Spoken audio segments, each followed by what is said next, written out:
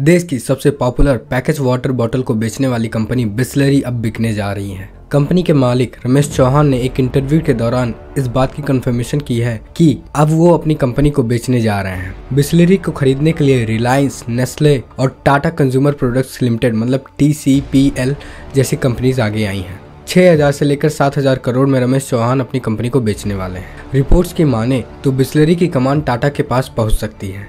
हालाँकि इस बारे में फ़िलहाल कोई ऑफिशियल कंफर्मेशन नहीं है। लेकिन रमेश चौहान ने इकोनॉमिक्स टाइम्स के साथ अपने इंटरव्यू में जिस तरह से टाटा के वर्क कल्चर को और उनके बिज़नेस को लेकर उनके आदर्शों की तारीफ़ की थी उससे यह अंदाज़ा लगाया जा रहा है कि टाटा के पास देश की सबसे बड़ी seal package water bottle company Bisleri पहुँच जाएगी। टाटा कंज्यूमर जो पहले से ही पैकेज मिनरल वाटर बेचती थी, आखिर क्यों बिस्लरी को खरीदना चाहती है? टाटा पहले से ही पानी के कारोबार में था, लेकिन वो सात हज़ार करोड़ रुपए खर्च करके बिस्लरी ब्रांड को खरीदना चाहती है।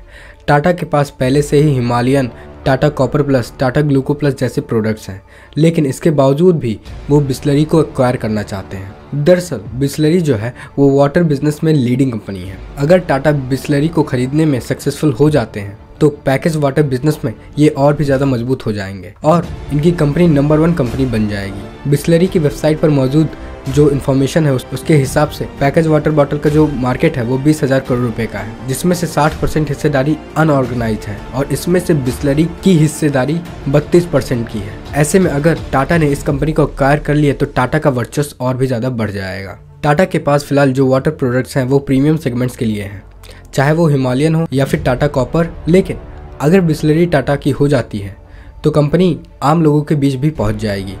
पानी मतलब बिस्लरी जैसी जो भावना है, वो टाटा को फ़ायदा मिलेगा। बिस्लरी के एक्विजिशन के बाद टाटा का जो वाटर प्रोफ़ाइल है, और भी ज़्यादा मज़बूत हो जाएगा। टाटा के पास जो भी वाटर ब्रांड है, वो प्रीमियम ब्रांड है। टाटा के हिमालयन वाटर की कीमत 50 से 70 रुपए तक की है। और वहीं जो ग्लूको प्लस है, जो सिर्फ़ 200 सौ की आती है, वो सिर्फ़ दस रुपये में प्रोवाइड करती है।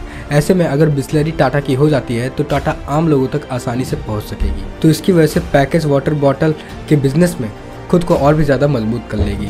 बिस्लरी की वेबसाइट पर मौजूद जो इन्फॉर्मेशन है, उसके हिसाब से मैं आपको बता देना चाहता हूँ कि बिस्लरी के पास लगभग 4500 से अधिक डिस्ट्रीब्यूटर्स मौजूद हैं और 5000 से ज़्यादा डिस्ट्रीब्यूशन ट्रक्स हैं, जिसकी वजह से इस साल मतलब कि फाइनेंशियल ईयर 2023 में कंपनी को 220 करोड़ का प्रॉफिट करने की उम्मीद है और कंपनी का जो टर्नओवर है, वह लगभग 2500 करोड़ रुपए तक पहुँचाने की एक्सपेक्टेशन है। टाटा अगर बिस्लरी को खरीद लेती है तो भारत में पैकेज वाटर बॉटल की जो बिज़नेस है, उस पर टाटा का ही राज होगा। Market research and advisory TechSci research की रिपोर्ट के मुताबिक फाइनेंशियल ईयर 2021 में भारत में जो पैकेज वाटर बॉटल था, उसका बिज़नेस दो करोड़ डॉलर था, यानी कि करीब करीब उन्नीस करोड़ रुपए का था। जिससे की यह पता चलता है की आज के समय में लोग अपनी हेल्थ और वाटर हाइजीन को लेकर सजग हो रहे हैं। माना जा रहा है की ये जो बिज़नेस है, इसमें हर साल लगभग तेरह की कंपाउंड एनुअल ग्रोथ रेट ऐसी बढ़ती जा रही है। ऐसे में टाटा के पास बहुत ही अच्छा मौका है देश और विदेश में दोनों जगह में अपने वाटर बिज़नेस को बढ़ाने के लिए। बिस्लरी के पास 122 से अधिक ऑपरेशनल प्लांट है। मिनरल वाटर के साथ साथ बिस्लरी इंटरनेशनल प्रीमियम ब्रांड